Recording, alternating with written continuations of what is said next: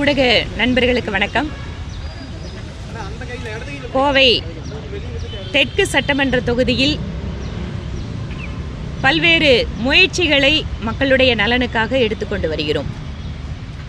அது குழந்தைகளுடைய நலனுக்காக செயல்படுத்துகின்ற பால் வழங்குகின்ற அமுதமாகட்டும் இளம் பெண்களுக்கு மாதா மாதம் சானிட்டரி நாப்கின் வழங்குகின்ற திட்டம் தந்தை இழந்த பெண் குழந்தைகளுக்கு ஆதரவளிக்கின்ற மோடியின் மகள் திட்டம் என்று பல்வேறு முயற்சிகளை தெற்கு தொகுதியிலே சிறப்பாக எடுத்து செயல்படுத்தி கொண்டிருக்கிறோம். அந்த வகையிலே இன்று விருட்சம் என்கின்ற ஒரு புதிய முயற்சியை ஆரம்பித்திருக்கிறோம்.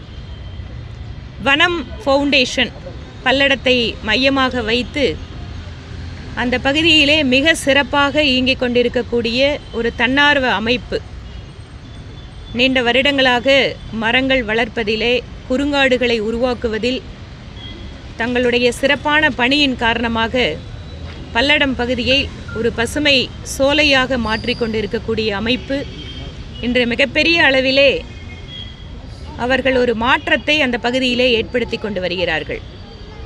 அவர்களுடன் இணைந்து விருட்சம் என்கின்ற இந்த திட்டம் கோவை தெற்கு சட்டமன்ற தொகுதியில் நாங்கள் செயல்படுத்த துவங்கி இருக்கிறோம். இங்கு இருக்கக்கூடிய அரசு பள்ளிகள் அரசு உதவி பெறுகின்ற பள்ளிகளிலெல்லாம் நிறைய காலி இடங்கள் இருக்கிறது. மைதானம் ஒரு பக்கம் இருந்தால் கூட புதர் மண்டி நிறைய இடங்களில் அரசு பள்ளிகளில் நிலங்கள் வந்து காலியாக இருப்பதை நான் ஒவ்வொரு முறை அந்த பள்ளிகளுக்கு செல்கின்ற பொழுதெல்லாம் பார்ப்பது உண்டு அப்போது வருங்காலத்தில் அங்கு மேம்பாட்டு பணிகளோ பள்ளி கட்டிட பணிகளோ எதுவும் சாத்தியமில்லாத வகையில் இருக்கக்கூடிய நிலங்களை எல்லாம் பார்த்து எடுத்து இன்று ஏழு பள்ளிகளில் மியாவாக்கி என்கின்ற குறுங்காடுகளை வளர்க்கின்ற இந்த திட்டத்தை செயல்படுத்த துவங்கி இருக்கிறோம். இன்று டாட்டாபாத் பள்ளியிலே வனம் ஃபவுண்டேஷனுடைய நிர்வாகத்தில் இருக்கின்ற திரு ஸ்கை சுந்தரராஜன் அவர்களும் அவருடன் இணை இணைந்திருக்கின்ற அறங்காவலர்களும் அதே போல பாரதிய ஜனதா கட்சி தொண்டர்கள் மக்கள் சேவை மையத்தினுடைய தன்னார்வ தொண்டர்கள் எல்லோரும் இணைந்து இந்த குறுங்காடுகள் வளர்ப்பு பணியிலே ஈடுபட இருக்கிறோம். இங்கு பள்ளி மாணவர்களையும் இந்த திட்டத்தில் அதிகமாக ஈடுபடுத்தியிருக்கிறோம். பள்ளியினுடைய ஆசிரியர்கள் பெரிதாக ஒத்துழைப்பு கொடுக்கிறார்கள். ஒரு குழந்தைக்கு இரண்டு மரம் என்கின்ற வீதத்திலே தொடர்ச்சியாக மூன்று ஆண்டுகளுக்கு அந்த குழந்தைகளுக்கு அந்த மரங்கள் மரக்கன்றுகள் கொடுக்கப்படும். இப்போ எல்லாமே வச்சிருக்கிறது எல்லாமே ரெண்டு வருடம் மூணு வருடம் ஆயிருக்கிற மரங்களும் வச்சிருக்கிறோம். இதன் வாயிலாக குழந்தைகளுக்கு மரம் வளர்ப்பதில் ஆர்வம் ஏற்படும். அவர்களுக்கு ஒரு பொறுப்பு உணர்வை இந்த மரம் வளர்ப்பு கொடுக்கிறது. தங்களுடைய மரக்கன்றுகளை தாங்கள் பராமரிக்க வேண்டும் அப்படிங்கும்போது அந்த மரத்தை வளர்க்கறதுல ஒரு ஆர்வமும் பொறுப்பும் அவர்களுக்கு உருவாகிறது. இன்னும் கூட சிறப்பாக இந்த பணியில் ஈடுபடக்கூடிய குழந்தைகளுக்கு பரிசு வழங்கி கௌரவிக்கவும் இருக்கிறோம். இம்மாதிரியான இந்த திட்டத்தின் வாயிலாக காலநிலை மாற்றம் கிளைமேட் சேஞ்சை பற்றி நம்ம நிறைய பேசிகிட்ருக்குறோம் அரசாங்கம் இதற்கான முயற்சிகளை எடுக்கிறது. ஒரு பக்கம் கரியமில வாயுவினுடைய வெளியீடு அதிகரித்து கொண்டிருக்கக்கூடிய சூழலில் உலகம் முழுவதுமே இந்த பருவநிலை மாற்றத்திற்காக பல்வேறு முயற்சிகளை நாடுகள் எடுத்துக்கொண்டிருக்கிறார்கள் நம்முடைய நாட்டிலே கூட பாரத பிரதமர் முதல் முறையாக கார்பன் நியூட்ரல் இந்தியா என்பதற்காக ஒரு இலக்கு நிர்ணயித்து அதை நோக்கி அத்தனை அரசு திட்டங்களை செயல்படுத்தக்கூடிய ஒரு அடிப்படை திட்டங்களை எல்லாம் செயல்படுத்தி கொண்டு வருகிறார். இது ஏதோ அரசாங்கத்தினுடைய செயல்பாடாக மட்டுமில்லை பருவநிலை மாற்றம் என்பது கார்பன் நியூட்ரல் என்பது நாம் வெளியிடுகின்ற கரியமில வாயுக்கு சமமாக ஆக்சிஜனை உருவாக்குகின்ற பொறுப்பு நம்ம எல்லாருக்கும் இருக்கிறது. அதை குழந்தைகளிடம் நாம் ஏற்படுத்த வேண்டும். சமுதாயத்தில் இருக்கின்ற பல்வேறு நபர்களும் இந்த திட்டத்திற்கு ஒத்துழைப்பு கொடுத்து அவர்களும் இதில் ஆக்கப்பூர்வமாக ஈடுபட்டால்தான் நம்முடைய நாடு கார்பன் நியூட்ரல் என்கின்ற இலக்கினை நோக்கி நாம் நகர முடியும். சமீபத்திலே கூட சட்டப்பேரவை உறுப்பினர்களுக்காக காலநிலை மாற்றம் மற்றும் சுற்றுச்சூழல் அமைச்சகத்தின் சார்பாக ஒரு பயிற்சி பட்டறை ஏற்பாடு செய்திருந்தார்கள். மாநில அரசும் முயற்சிகளை எடுக்கிறார்கள். பாராட்டத்தக்க முயற்சிகளை எடுக்கிறார்கள். ஆனால் ஒவ்வொரு சட்டமன்ற உறுப்பினருமே இம்மாதிரியான தன்னார்வ அமைப்புகளோடு இணைந்து காலநிலை மாற்றத்திற்கு இம்மாதிரி குறுங்காடுகளை உருவாக்குவது அதிகமாக மரம் நடுவதன் வாயிலாக குறிப்பாக நகர்ப்புற பகுதிகளில் மக்களுக்கு நல்ல தூய்மையான காற்று கிடைக்கும். அது மட்டும் இல்லாமல் ஒரு மரம் இருக்கின்ற பகுதிகளிலேயே மனதுக்கு வந்து ஒரு அமைதி கிடைக்கிறது. அவர்களுடைய உடலுக்கும் மனமுக்கும் சேர்ந்தே இந்த குறுங்காடுகள் என்பது ஒரு மிக நல்ல பலனை கொடுத்து கொண்டிருக்கிறது. அந்த வகையில் ஒரு சிட்டியோட எம்எல்ஏ இங்கே வந்து பெருசாக வந்து ஏக்கர் கணக்கில் வந்து வேற இடம் கிடையாது. அதனால் இருக்கின்ற இடங்களில் எல்லாமே இம்மாதிரியான செயல் திட்டத்தின் வாயிலாக நல்ல மரக்காடுகளை உருவாக்கி ஆக்சிஜனை வழங்குவது மட்டுமல்ல நம்முடைய கார்பன் நியூட்ரல் இந்தியா என்கின்ற இலக்கை நோக்கி பாரத பிரதமர் அவருடைய திட்டத்தை எடுத்துச் செல்வதற்கான ஒரு வாய்ப்பாகவும் பார்க்கிறோம். மாநகராட்சியினுடைய அதிகாரிகளுக்கு கூட நான் ஒரு வேண்டுகோள் வைக்கிறேன். எங்கெங்கெல்லாம் மாநகராட்சியினுடைய இடங்கள் இருக்கிறதோ அங்கெல்லாமே கோவை மாநகராட்சி இம்மாதிரியான ஒரு செயல் திட்டத்தை செயல்படுத்த வேண்டும். அதற்கு இம்மாதிரியான சட்டமன்ற உறுப்பினர்கள் முயற்சி எடுக்கின்ற பொழுது ஒத்துழைப்பும் கொடுக்க வேண்டும் என இந்த நேரத்தில் மாநகராட்சியிடம் நாங்கள் கோரிக்கை வைக்கிறோம். இந்த மாதிரி விஷயங்களில் பார்த்தோம்னா குறுங்காடுகள் அமைக்கிறதெல்லாம் பார்த்தோம் அப்படின்னா வெளிநாட்டு மரங்களை அதிக அளவில் வந்துட்டு அழகுக்காக குளக்கரைகளில் வைக்கிறது அந்த மாதிரி விஷயங்கள் சொல்கிறாங்க நம்ம குட்டி விக்கி சாலையிலே பார்த்தோம் அப்படின்னா போன கார்பஸுங்கிற மரமெல்லாம் இருக்கு. அதை தவிர்க்கிறதுக்கு என்ன மாதிரியான முன்னெடுப்புகள் சொல்லப்படும்? இந்த மாதிரி குறுங்காடுகள் வளர்ப்பில் நம்முடைய மண்ணுக்கு ஏற்றபடி நம்முடைய தட்பவெப்ப நிலைக்கு ஏற்றபடி தான் வனம் ஃபவுண்டேஷன் வந்து மரங்களை கொடுக்குறாங்க. உள்ளூர் மரக்கன்றுகளை தான் கொடுக்குறாங்க. அதனால தான் அவர்களுடைய செயல்பாடுகளையும் பார்த்துவிட்டு அவர்களோடு இணைந்து இந்த திட்டத்தை நாங்கள் முன்னெடுக்கிறோம். ஏன்னா ஒரு சில இடங்கள் வறட்சியை தாங்கி நிற்கும். ஒரு சில இடங்களில் வந்து நீங்கள் சொன்ன மாதிரி அந்த மண்ணுக்கு அந்த மரம் தான் சிறப்பாக இருக்கும். சில சமயம் வந்து இந்த மரங்களுடைய வளர்ச்சி வந்து கொஞ்சம் குறைச்சலாக இருந்தால் கூட நீடித்து நிலைத்த பயன் தரக்கூடியதாக நம்முடைய உள்ளூர் மரங்கள் தான் இருக்குது அதனால் அதில் வந்து கவனமாக இருக்கும். உள்ளூர் மரங்களை தான் தேர்ந்தெடுத்து வளர்த்துறோம் நீங்கள் சொல்கிறீங்க ஆனால் வளர்ச்சி திட்டங்களுக்காக சிட்டிக்குள்ளேயே நிறையா மரம் சார்ந்த மரங்களை வெட்டிட்டு தான் இருக்காங்க கார்பரேஷன் தரப்புல அரசு தரப்பு அதை தடுக்கிறதுக்கு ஏதாவது நீங்கள் நாங்கள் வந்து இந்த மாதிரி பெரிய மரங்கள் வந்து சாலைகளுடைய விரிவாக்கத்துக்காக எடுக்கும்போது அதை திரும்பவும் இன்னொரு இடத்துல நடுறதும் அப்படிங்கிறதுக்காக கோரிக்கை வைக்கிறோம். சில சமயம் அதை பண்ணுறாங்க ஆனால் நிறைய நேரம் மக்களுக்கே வந்து அந்த உணர்வு இருக்க மாட்டேங்குது. நம்ம மரக்கண்டுகளை இவ்வளவு தூரம் வளர்ந்த மரத்தை நம்ம வந்து வீட்டில் வந்து நிறைய நேரம் எங்கிட்டவே பெட்டிஷன் கொடுக்குறாங்க. இந்த மரத்தை வெட்டி கொடுங்க. இந்த மரத்தை வந்து இது பண்ணி கொடுங்க அப்படின்னு. அப்போ அவங்களுக்கெல்லாம் கொஞ்சம் புரிந்து அவங்கள அதை செயல்படுத்துறதுக்கு அவங்களுக்கு கொஞ்சம் புரிதல் உணர்வை ஏற்படுத்த வேண்டியதாக இருக்குது இது மக்களோட சேர்ந்து ஒத்துழைப்போடு தான் இந்த திட்டத்தை செயல்படுத்த முடியும். அமைச்சர் செந்தில் பாலாஜி செந்தில் சேகர் பாபு பாராளுமன்ற தேர்தலுக்கு பின்னாடி அண்ணாமலை சொன்ன டிஎம்கே ஃபைல்ஸ் இது வந்து ட்ரங்க் பட்டியலில் ஏற்றப்படும் அப்படின்னு சொல்லியிருக்கிறார் சேகர் பாபு. டிஎம்கே ஃபைல்ஸில் மாநில தலைவர் அண்ணாமலை சொன்னது எந்த பெட்டியில் ஏற்றுறோம் அது எக்ஸ்பிரஸில் ஏறுதா ஜெட்டில் ஏறுதாங்கிறதெல்லாம் அவர் கொஞ்ச நாளில் பார்க்க தான் போகிறாரு மேடம் அரசு தேர்வுத்துறை வந்து அலட்சியமாக இருக்கிறதுனால தான் தேர்வுத்துறையில் நிறைய முறைகேடுகள் நடந்துச்சுன்னு சொல்லிட்டு உயர்நீதிமன்றம் கண்டனம் தெரிவித்திருக்கிறாங்க அதை நம்ம எப்படி பார்க்குறீங்க அரசு பள்ளிகளுடைய மேம்பாடு.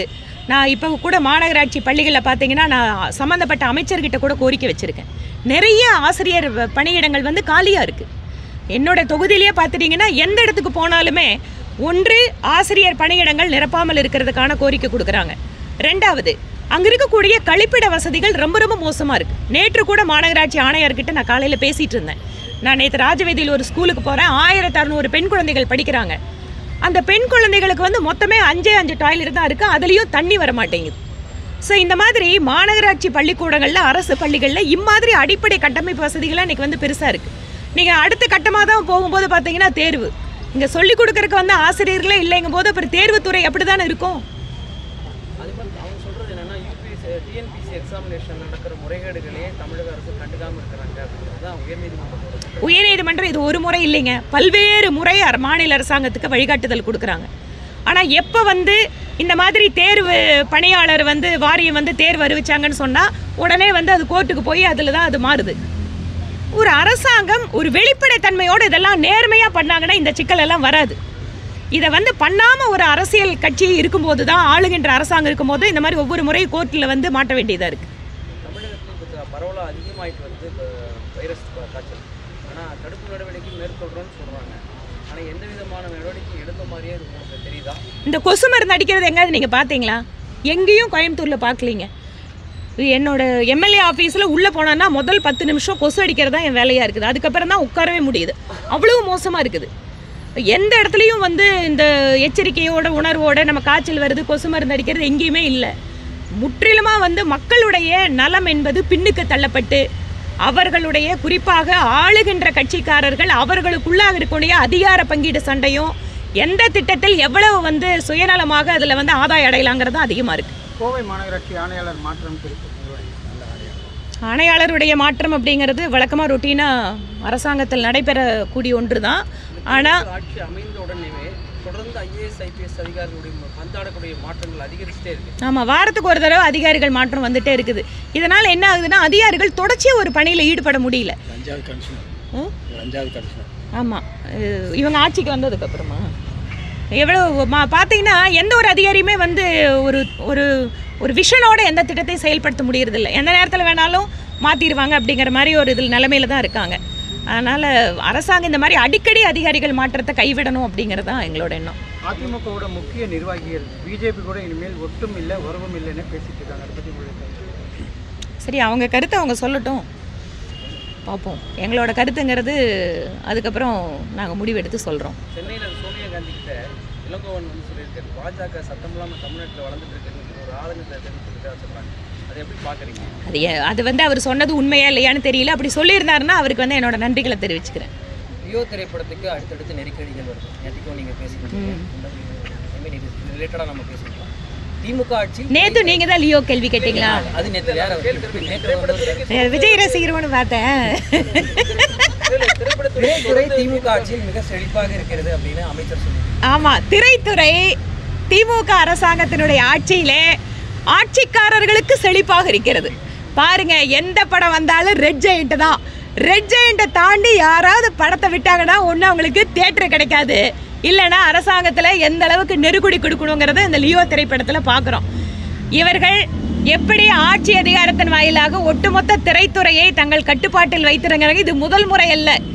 இதற்கு முன்பாக இவர்களுடைய ஆட்சி தூக்கி எறியப்பட்டதற்கு காரணமே வந்து திரைத்துறையில் இவங்க பண்ண ஆதிக்கம்தான் அதே தவறைத்தான் திரும்பவும் செய்து கொண்டிருக்கிறார்கள்.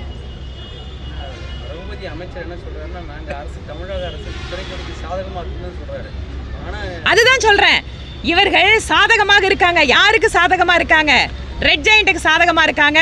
இல்ல அவர்களுக்கு பணத்தை வந்து அந்த விநியோகஸ்தர்கள் வந்து இவங்க மூலமா விற்கிறவங்களுக்கு சாதகமா இருக்காங்க. செழிப்பா இருக்காங்கன்னா திமுக காரங்க செழிப்பா இருக்காங்க.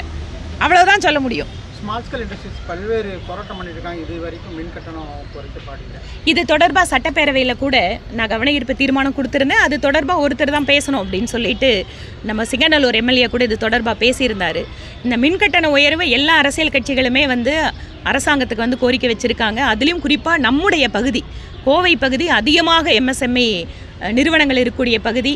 இந்த மின் கட்டணத்தில் அவங்க ஒரு நிலையான சார்ஜ் அப்படின்னு ஃபிக்ஸட் ரேட் வாங்குறதும் சோலாருங்க என்ன கொடுமைன்னு கேட்டால் பாருங்கள் இன்றைக்கி கிளைமேட் சேஞ்சு நம்ம வந்து இதுக்கு வந்து மாற்று எரிபொருளை கண்டுபிடிக்கணும் அப்படிங்கிறதெல்லாம் பண்ணுறோம் ஆனால் சோலாருக்கு வந்து நாம் மேலே சூரிய அந்த சோலார் தகடுகள் வச்சா கூட அரசாங்கம் வந்து அதுக்கு வந்து கட்டணம் வசூலித்து அவங்க மக்களுக்கு வந்து ஒத்துழைப்பு கொடுக்காம இருக்காங்க.